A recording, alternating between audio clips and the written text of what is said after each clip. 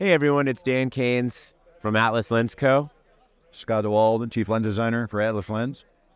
So we're here at Cinegear 2023, and we're super excited because this is only the second day that we're presenting the new Mercury Series 138 millimeter prototype. So this is the first time that the world has seen the telephoto end of the Mercury Series family. And if you haven't heard of the Mercury Series or Atlas Lens Co., uh, at Atlas we were founded in 2016 with the goal of bringing great anamorphic cinematography lenses to a wider variety of new generation filmmakers.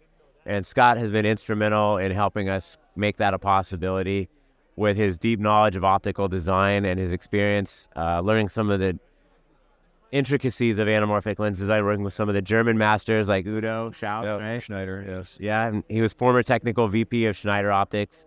Uh, so really fortunate to have such a brilliant team member helping us make this possible.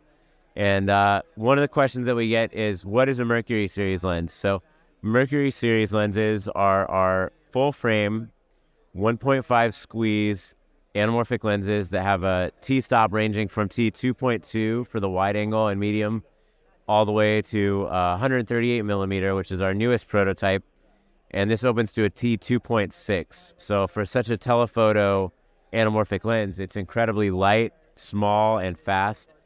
And uh, what we can tell you without revealing too much is that this type of lens is possible due in part to the research uh, originally started by Forrest Schultz, my co-founder, on his kitchen table years ago. And between Forrest and Scott, they managed to take some of that early research and then package it into something that makes technical sense to be actually manufacturable as a product. Um, so we have a patent pending design that allows us to make incredibly close focus, uh, incredibly Compact. pa- compact, Compact yeah. anamorphic system. It's the first real new anamorphic focusing system in two generations, probably. So probably in about 70 years, right? And I'd say this is the most exciting thing that's happened in anamorphic lens design in the last 70 years. Yeah. Uh, so we've filed the patent for that, and that's what allows them to be so compact, so light, and uh, incredibly accessible to a new generation of filmmakers, while also offering full frame coverage.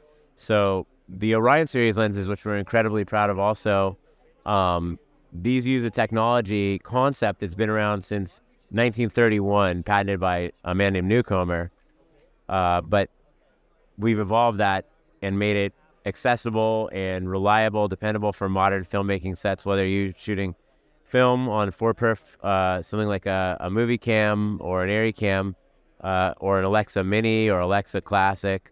Uh, and now with the Mercury series, we made these lenses to cover full frame sensors.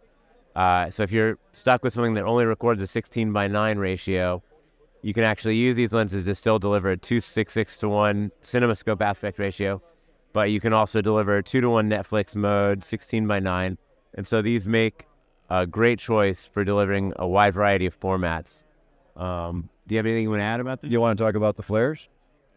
Yeah, that's a great question. So, uh, Scott brilliantly reminded me to talk about the special coatings. So, the Orion series, we paid homage to classic Panavision lenses like the C series, uh, which have a cyan blue colored flare. Later, we introduced the Orion series Silver Edition, which have a neutral flare uh, due to the coating design, which allows for great light transmission, but also increases the flare and has a, a flare that takes on the color of the light source itself.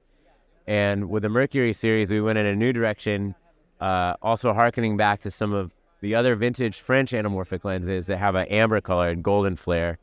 Uh, so, you know, thanks to Scott, Scott's coating design uh, and Forrest working with Scott, we've got these beautiful golden flares that don't look like any other lens, but, uh, you know, leave people really excited to, uh, to hit them with off-axis light sources and, and give you the flare vibes that you're all looking for.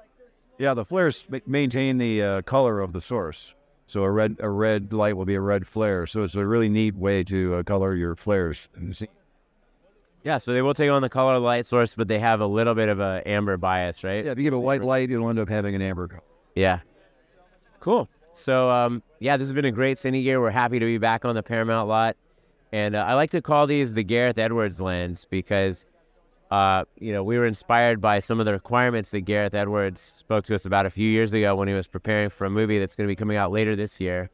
And uh, Gareth said, uh, "Hey, I want to do this movie with a bunch of non-actors in a really small space where we're going to be able to move the camera through the space with a small camera, and uh, it has to be anamorphic." So he said, "Well, you know, an Orion 32, that's a pretty small anamorphic lens at the time. This is in 2018. We're talking about this."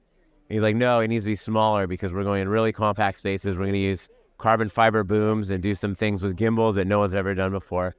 And uh, that pushed us to continually try to make the lenses smaller and smaller, um, but still deliver all the anamorphic character and personality that people love. Um, so unofficially, we like to call the Mercury's the Gareth Edwards lens. So huge shout out Gareth and uh, Greig Fraser and uh, all of our cinematography and, and movie heroes. So yeah, we really love doing this and uh, really grateful to you, Scott. This has been a lot of fun. You know, Scott Scott helps make it technically possible. So couldn't do it without Scott and our great engineering team.